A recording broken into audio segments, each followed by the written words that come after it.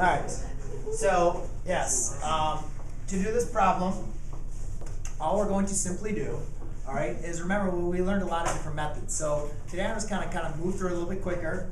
I'm just gonna do the FOIL method. I'm gonna multiply my first terms, mult times the outer, multiply the inner, and multiply the last. So I'm just gonna write out first terms would be f times a times two a, which gives me ten a squared.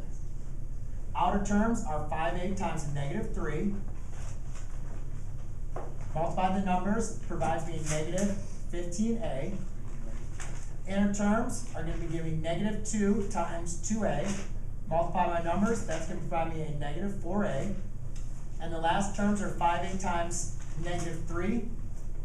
I'm sorry, the last terms are negative two times negative three. Which provides me with a positive six. Now, I just read out all my answers. Ten a squared, notice that these both have the same denom, or same base and the same exponent, so I can combine them.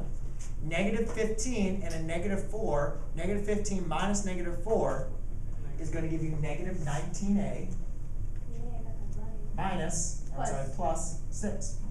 Oh, yeah, I did that right. And there you go, that was for your homework. Let's see you do that. Yeah!